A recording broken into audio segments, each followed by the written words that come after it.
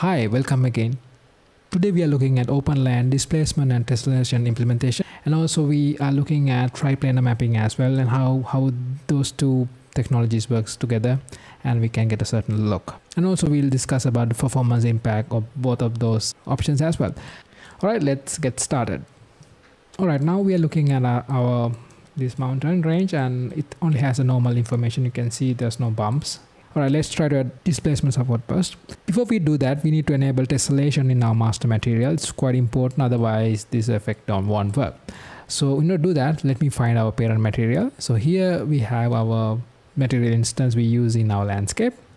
And let, let me scroll down and we have this, this master material. I'm going to double click that.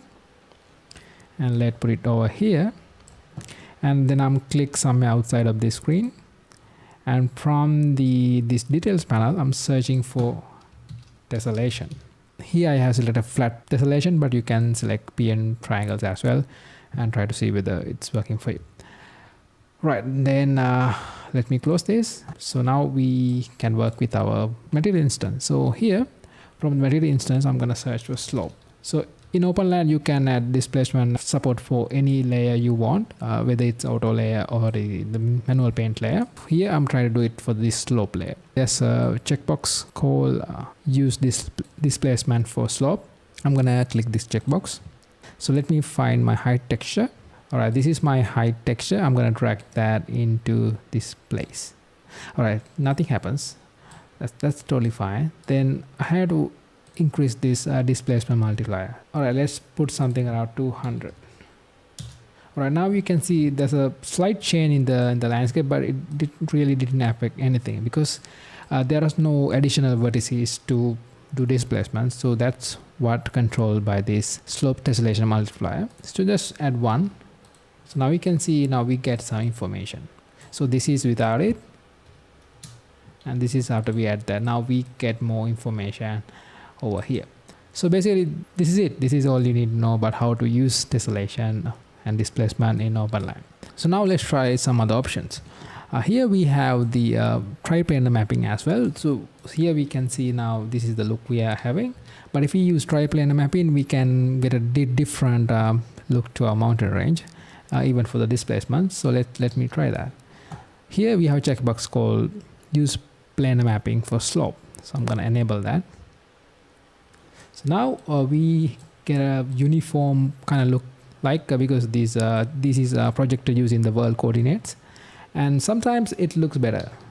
From here I think uh, yeah sometimes it looks better and sometimes it won't. Try to play with this with your landscape and check whether this is the this is the look you are going for.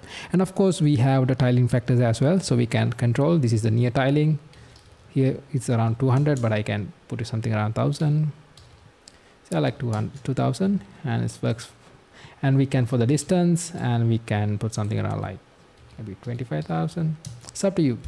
I don't know. It's too much I guess. So now we add bunch of things. So ultimately we need to think about the performance as well. So let's have a look at it.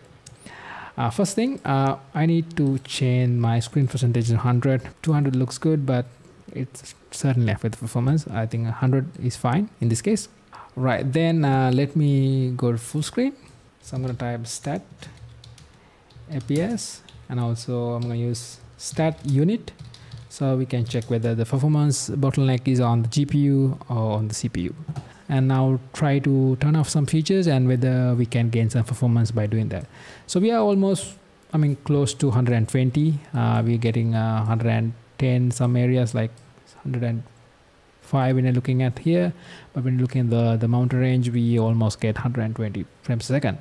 Uh, yeah I, I, don't think we can improve anything by uh, from here. So for example let me turn up all the features. So I'm going to turn up planar mapping. And also I'm going to turn up uh, displacements as well. All right so even right now we are getting the same kind of performance as well. I think now we are easily hitting 120 uh, I mean this is usual. Uh, yeah.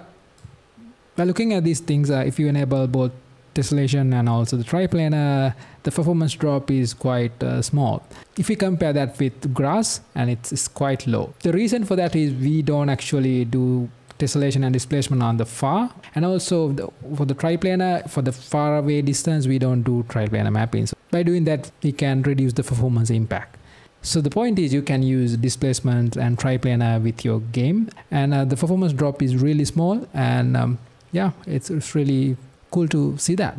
And if you're using a mobile app you're certainly aware of that. Like this really affects your mobile application. I'm, I'm planning to do another video on that. So then uh, yeah please be aware of the performance impact if you're targeting this for a mobile app. All right uh, see you soon with something interesting. Bye